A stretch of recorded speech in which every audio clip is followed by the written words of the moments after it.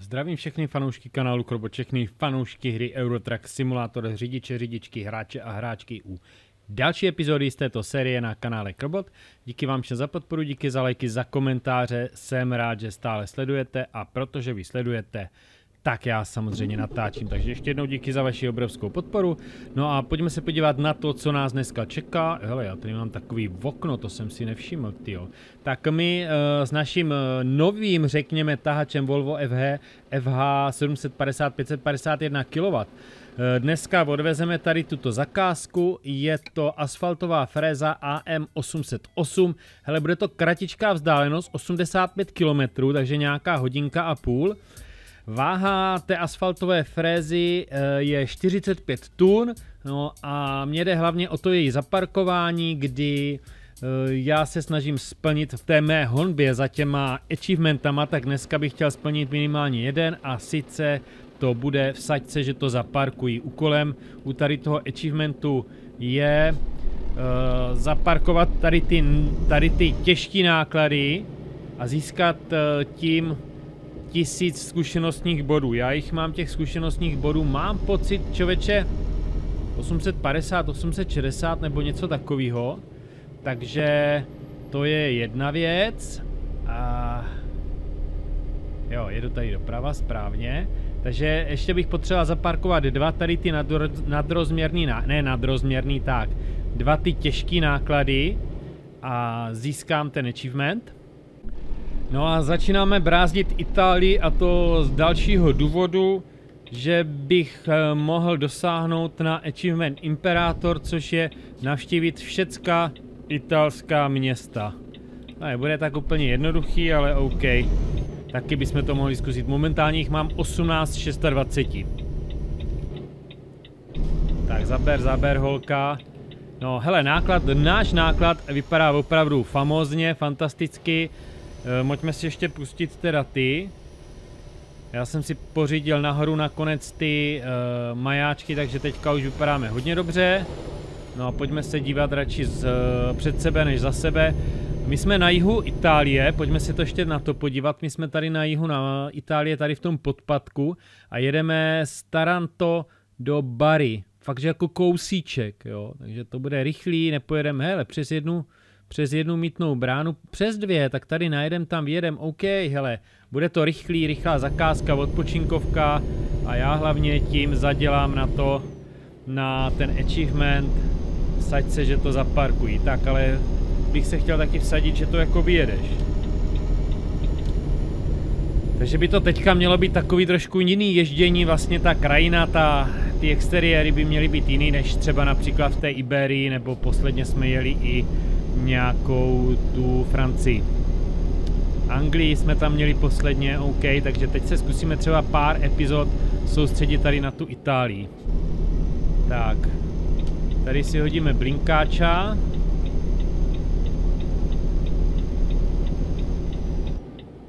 Tak, šup, šup, šup. No, tak to tady najíždím hodně rychle, hodně sprutka, to ne, kamaráde. Brzdi, brzdi, brzdi.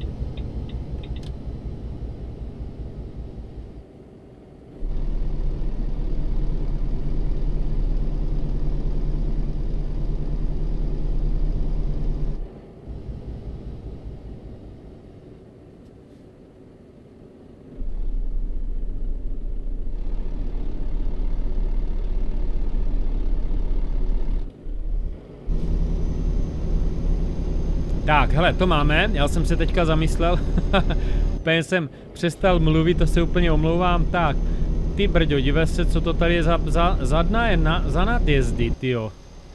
No a tady jsme furt teda v nějaké průmyslové zóně, čověče.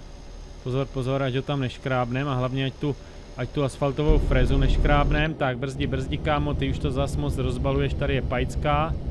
Tak, tady bude kruháček, na kruháčku mi rovně, tak brzdi, brzdi, brzdi. No, e, taky bych se chtěl cestou určitě podívat na moje rozložení nastavení hry. Říkal jsem si, že by to mohlo být zajímavý a 1 a D2. Mohli bychom si to porovnat potom na mém Discordu, na, na mém Discordu byste potom klidně mohli uh, ukázat uh, nějaký svoje rozlišení nebo nastavení, tak abych to řekl správně. Tak, pojď, pojď, pojď, pojď kamaráde. Tak, teďka tam jezdíme my. Na sedmičku to nebyl úplně dobrý nápad. Takže ta pěťuša bude lepší, ale mezi tím mě tam vyjel tady tento, halama. halama. Tak, to je ono. My tady jedeme doprava. Uh, pozor, teď jsem se zapomněl. Tak.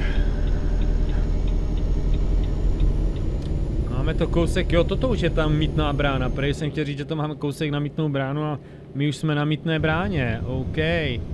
Tak, kudy tudy. No jedem tam, jak jel ten kamion, protože to je ta průjezdová.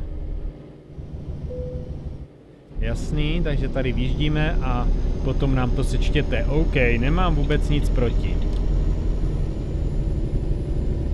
A ah, teď jsem tam málem nabral toho modrýho Fiatka, nebo co to bylo. Tak a teďka už jsme na dálnici, máme to 61 km, to je co by, co by jdu, ty bláho. Takže se pojďme podívat na to, jaký já mám nastavení uh, Eurotraku simulátoru, jaký mám nastavení ve hře. Když se podíváme na zobrazení, tak tam asi nic moc neuvidíme. Momentálně jedu 2560 na 1440, 144 Hz. Hele, já třeba vůbec nevím, co je tady ta změna velikosti, takže tady mám něco nastaveného. Eh, co se týče té grafiky, tak já to mám samozřejmě nastavený úplně do max, to, co nejvíc ta hra nabízí. To znamená, kam to, kde to šlo do max, kam to šlo prostě na vysoký a víc už ne, kde to šlo na ultra a víc už ne, prostě všecko tady to mám úplně na max. Jo, eh, to, co tam šlo všecko, mám tam chodce, vylepšování vzdálen, vykreslování vzdálenosti světel, prostě max byla vysoká, takže tak to mám. Tam jsem opravdu na, nicem, na ničem nešetřil a nebylo ani třeba. Pojďme se podívat ale, jaký mám nastavení ve hře. OK, tak náhodné pozadí plochy, neřeším spoždění, eh, zmizení prvku na ploše 60 sekund. Uh, občas se, tohle, toto si občas vypínám, zapínám tu simulaci té únavy. Jo, to je jediný. Jinak dopravní přestupky mám uh, zaplý, ale s ohledem na mých 20 milionů už je to úplně jedno. Upřednostňovaná délka zakázky tak je spíš delší a kratší, ale radši teda teďka jezdím ty kratší v rámci těch videí. Rychlostní limity aplikací Road Advisor, Advisor uh, Zobrazit rychlostní limity, to tam mám, jasně. Zvýraznění rychlosti v Advisoru při jejím překročení to mám taky nastavený. Dialogové automatické, dialog automatického zaparkování mám taky zapnutý. Zakázané samovolné objevení Road Advisoru, hele to nemám, ani nevím co to je. Upozornění na těžký základ, náklad tady mám jakoby zaplý, ale většinou vím s jakým autem jedu. Uh, mám pevný sever, sever na mapě, Vždycky mám zobrazení navigace, režim navigace je vždycky nejlepší trasa, obtížnost parkování, vždycky to mám nastavený, aby se mě vždycky zeptal. Eh, náhodné silniční události mám, a teď už mám úplně na max, jo. To prostě to chci, aby se tam furt něco dělo. Obíšti, OK, tak ty mám jako zase tak na jednu čtvrtinu, uh, stejně tak pravděpodobnost deště, přece jenom jsou radši, když je pěkný počasí, s ohledem na to, že třeba to dobře vypadá do těch jako do těch streamů nebo do těch videí, takže proto časová pásma vyplý, ani nevím, jak by to, co by se stalo, bych to měl zaplý. Uh, zobrazování kascén, Hmm, čoče, ani nevím, že se to dá vypnout, ale nechám si to tak, osy neprohazuju. Ale tady, nastavení, nastavení tahače, to může být zajímavý. E, převodovka sekvenční, automatické centrování řízení, tak já nepoužívám klávesnici ani vladač, to je jedno. Intenzita brždění, to mám téměř na minimu, téměř na minimu. Stabilita tahače pod půlkou, stabilita návěsu a tuhost zavěšení můžu ještě možná trošku ubrat. E, tuhost e, zavěšení a, ah, aha, tuhost zavěšení takhle. Uh, tuhost zavěšení kabiny mám zase téměř na minimu. Mám pokročilé připojování návěsu, parkovací kabely, hele, toto nevím, co je, ale mám to zaplý prostě. Uh, nem, jo, omezovač rychlosti tam nemám už zaplej. Hm, to jsem ani nevěděl. Ani to nejde, tak to je jedno. Automatický retardér mám, ne, ne, nezapínám sám, nevím, jak bych to dělal. Já ani moc nevím, jak to funguje, takže to nemám. Motorová brzda.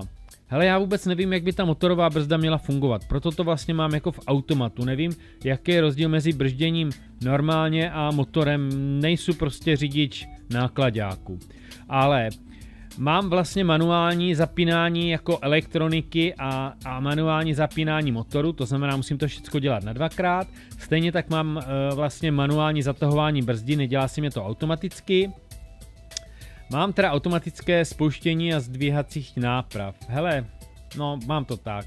A Uh, mám zaplou simulaci vzduchových brzd, takže si musím hlídat uh, tlak v brzdových válcích. Nebo prostě v těch brzdách, jo? to jsem si tam zapl, to je dobrý. Reálná spotřeba paliva, uh, změna nastavení rychlosti tempomatu mám 5 km, ani nevím, jaký tam je další, OK, 2, hele, 5 je dobrý, 5 mě stačí, to máme i na normálním autě, takže na to jsou zvyklý. Chytrý tempomat, nevím, co je to chytrý tempomat. Hele, to je zajímavý, co to je ten chytrý tempomat.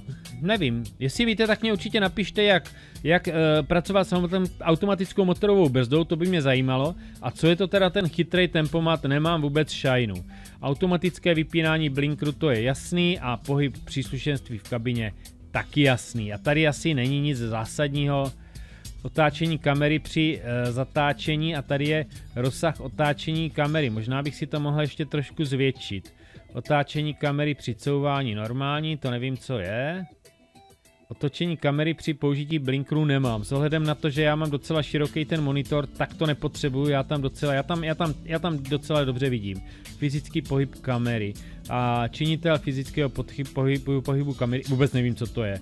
Jazyk a, a tady ty předvolby, to už neřeším. OK, hele, tak to je moje nastavení, no. Uh, jak říkám, možná bych rád používal tu motorovou brzdu, ale nevím, jak se má používat. To je jedna věc. A nevím, co je to teda ten chytrý tempomat. To si budu muset zjistit. No, hele, dobrý, takže to je moje nastavení, no a my se pojďme teda vrhnout zpátky na tu zakázku.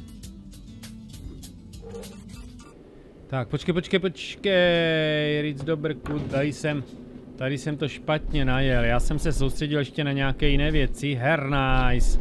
Tak to je nepříjemný. Zaplatím to tady borcovi do okýnka. Nemůžu ti to tady zaplatit. Tak, tady. A jedem dál. OK, hele, taková malá trošku lapálie. Já jsem tam totiž dělal, dělal přestávku, dělal jsem si fotku náhledák a pak jsem se úplně nezorientoval uh, v té jízdě, že jo. Najížděl jsem si ještě tak, aby tam pěkně ten kamion stál, abych si mohl udělat tu fotečku a proto tam vznikl takový renonc. Tak, hele, máme to 21 km, 23 minut, pomalu si zbrzdíme, tady se budeme na tom kruháčku otáčet hodně, hodně dozadu o 270 stupňů. Tak, pomaličku. Tak, tady doprava. Kudy mě to táhne, ty bláho. No, pozor, pozor, pozor, pozor, pozor, pozor, tady jak, pozor, pozor, ať tady pána neto než krábneme. Tak a tady to někde bude. Jo, hele, takhle, rovně za mostem a za mostem už by to teda mohlo být. No, ještě ne, ještě je to celkem hodně, čověče. Ještě je to 13 kilometrů. Tak ještě to, ještě, ještě chvíli pojedeme. Co to tady zroste za strom, tyjo? Tak, tady doprava. No, to bych nepoznal, tyjo, že toto je ta odbočka teda.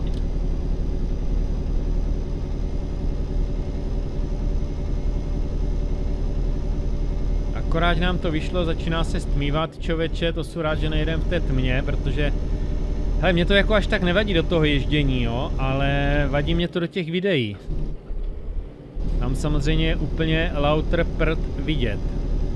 Takže tam se fakt jako snažím jezdit prostě za světla, co tam je, ty policajti ho chytli, nebo on havaroval, nebo... Hele, pěkně ho, kluci, pěkně ho pro, pro, pro to. Prolustrujte.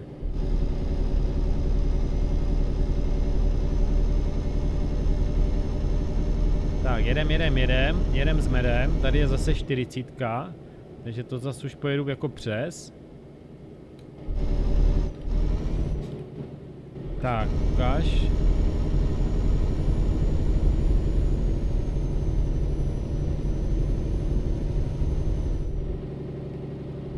Brzda, brzda, brzda, tady je to první výjezd. Tak už si namáčknu ten. Blinker. A tady na konci té ulice teda budeme vykládat. No, já to ještě musím zaparkovat, že jo? To bude jako důležitý v rámci toho achievementu vsaď se, že to zaparkuji.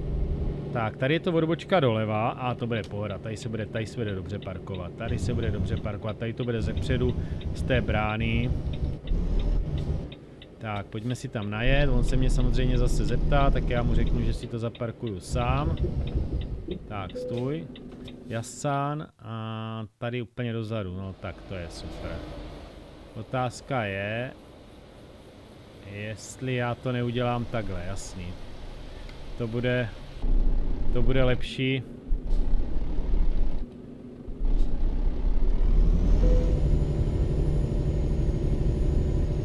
Bude lepší to v oběd.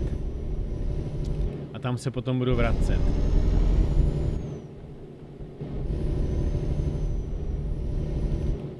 Tak, jedem, jedem, co tady má kdo nějakého Fiatka zaparkovaného člověče nebo co? Tak, máme teda v tom, měl bych je teda v tom správném pruhu, když už to tady mají nakreslený v té fabrice, takže v tom pravím. No, tak ještě nám to chvíli zabere, že jo? Já to zaparkování nebudu mít úplně nahned. A tak. Teď jako přemýšlím, jestli to mám zaparkovat z kabiny, což teda by bylo pro mě hodně těžký. Tak. Tady si takhle najedeme. Tak. Já to takhle to zaparkuju, ale z kabiny asi ne. Tak. Uh, takže pojďme zpátečka. Co tady bude dělat u té rampy Fréza, mě není jasný.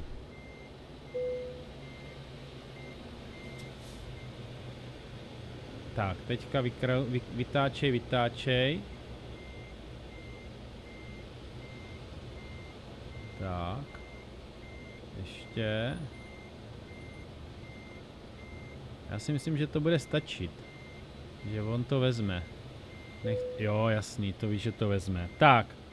Takže brzda. Vyřadit. Uh, vypnout motor. A vypnout světla. No a pojďme odevzdat náklad.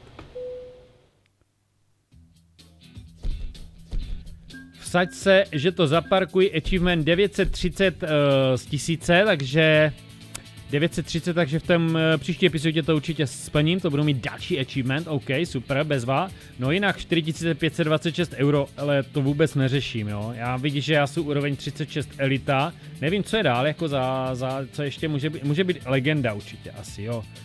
Jinak 258 expů, to je možná to, co mě zajímá. OK, hele, takže v dnešní epizodě jsme si ukázali, jaký mám nastavení ve hře. E, budu rád, když se připojíte na náš Discord, tak klidně mě tam můžete poslat nějaký screeny toho, jaký vy máte nastavení ve hře, klidně napište tady do komentářů pod toto. No a já se budu těšit u další epizody, kdy se pustíme do lovení dalších achievementů určitě dáme v sačce, že to zaparkují, no a mohli bychom se posunout i v nějakých těch italských městech. Díky vám všem za sledování, díky za lajky, za komentáře, mějte se fajn a zatím čau.